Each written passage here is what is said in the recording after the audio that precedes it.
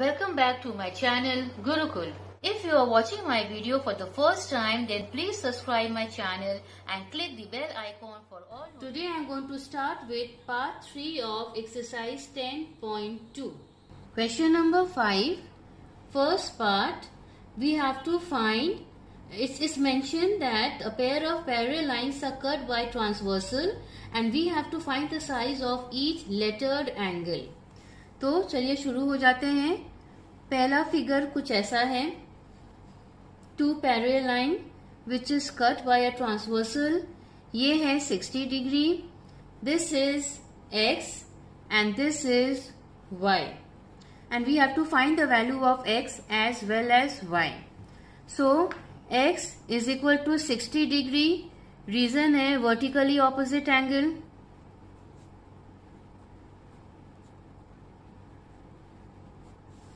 अब जब x हमको मिल गया तो x is equal to y because it is a parallel line which has been cut by a transversal and the reason is corresponding angle so x is equal to y is equal to 60 degree corresponding angle is the reason. अब चलते हैं second part second figure है two parallel lines which has been cut by a transversal ये mentioned है 135 degree this angle is Q and this one is P so Q is equal to 135 degree reason है vertically opposite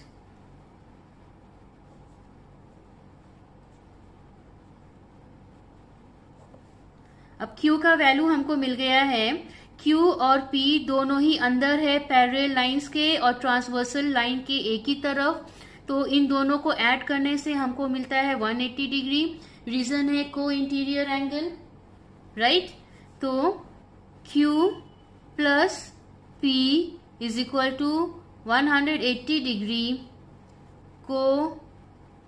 co-interior angle Q का value है 135 plus P is equal to 180 degree और P is equal to 180 minus 135 और P is equal to 45 degree So this is how we got the value of P and Q.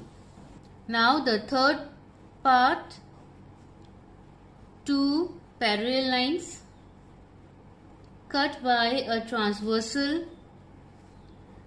This is B, this angle is A. And this one is given 70 degree.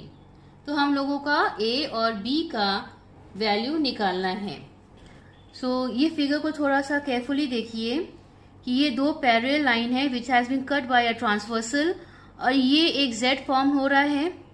मतलब this angle is equal to this angle. The reason is alternate interior angle. ये चीज़ reverse भी हो सकता है। ये देखिए, ये उल्टा जेड है। मतलब ये एंगल इज़ इक्वल टू ये angle reason again alternate interior angle hence we can say A is equal to 70 degree alternate interior angle अब जब हमको ए का वैल्यू मिल गया, हम बी का भी निकाल सकते हैं because this is a transversal जो कि एक स्ट्रेट है सो ये लाइन आपका ए और बी 180 डिग्री है so A B is equal to 180 degree straight line so A plus B. यहाँ देखिए ये स्मॉल लेटर्स है और ये कैपिटल लेटर है तो प्लीज़ कंफ्यूज मत होइएगा। A plus B is equal to hundred and eighty degree A का वैल्यू हमको मिल गया seventy degree plus B is equal to hundred and eighty degree और B is equal to one eighty minus seventy और B is equal to hundred and ten degree the fourth figure again two parallel lines cut by a transversal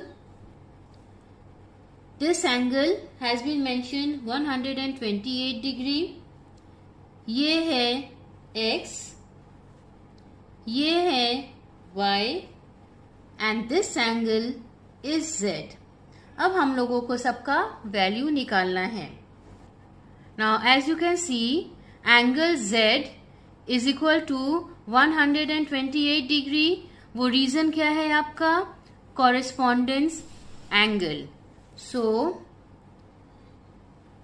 z is equal to 128 degree corresponding angle. So we got the value of z. So we can easily take out the value of y by the value of z. क्यों? क्योंकि ये एक straight line है सो which is 180 degree so इस line को हम नाम देते हैं ए बी और दूसरा पैरल लाइन का नाम देते हैं C and D so line A and B is equal to 180 degree reason is straight line y plus z is equal to 180 degree. Y plus 128 is equal to 180 degree or y is equal to 180 minus 128 or y is equal to 52 degree. Now we got the value of z, we got the value of y. अब जब y का value मिल गया है हम लोग को आराम से x का वैल्यू मिल गया so, x is equal to y is equal to 52 degree and the reason is corresponding angle.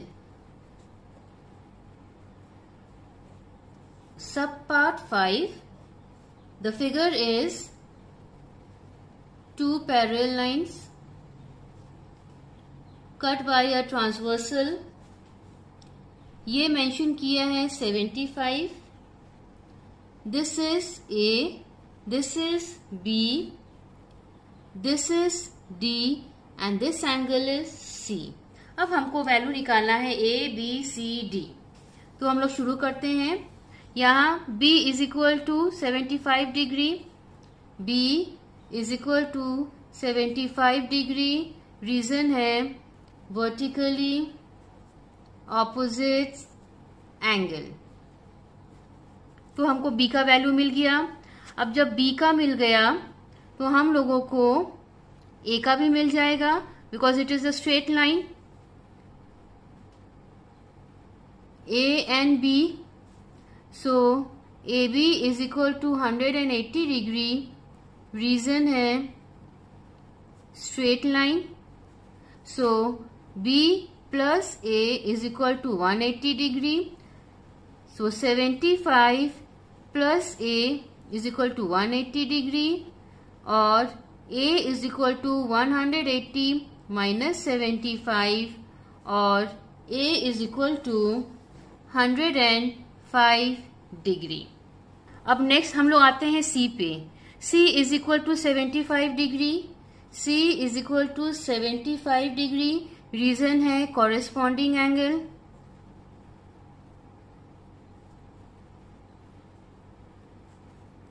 अब जब सी मिल गया तो हमको डी भी मिल जाएगा बिकॉज़ स्ट्रेट लाइन है। इस लाइन को सी डी नेम दे दिए। So C D is equal to hundred and eighty degree straight line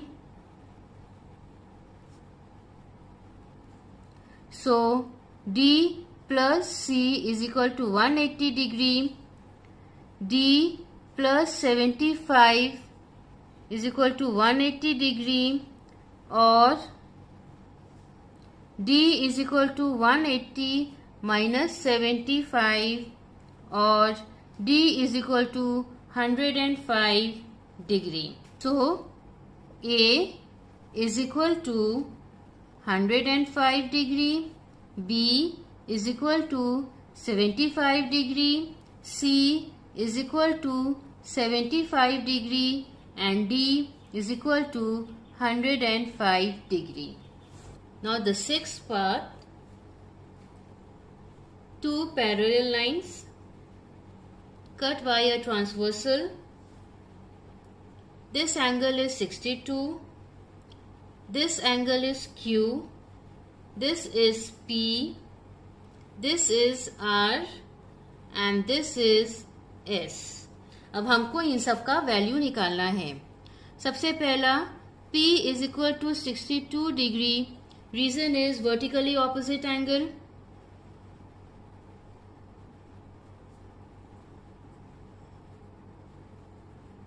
and P is equal to S equal to sixty two degree reason है आपका corresponding angle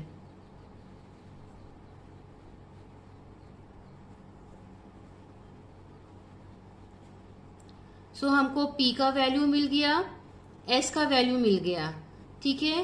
अब हम लोगों को आर का वैल्यू मिल सकता है क्योंकि ये को इंटीरियर एंगल है so P plus R is equal to 180 degree reason है को इंटीरियर एंगल सो पी का वैल्यू है 62 plus R is equal to 180 degree. और R is equal to one eighty minus sixty two और R is equal to one hundred eighteen degree अब जब are हम लोगों को मिल गया तो हम लोगों को क्यू भी मिल गया because R is equal to Q क्योंकि ये देखिए, ये एक Z फॉर्म हो रहा है। और ये हमारा क्या हो जाता है? Alternate interior angle so R is equal to Q is equal to 118 degree and the reason is alternate interior angle. So P is equal to 62 degree, Q is equal to 118 degree R is equal to 118 degree. S is equal to 62 degree. Thanks for watching my video and please don't forget to like, share and subscribe my channel.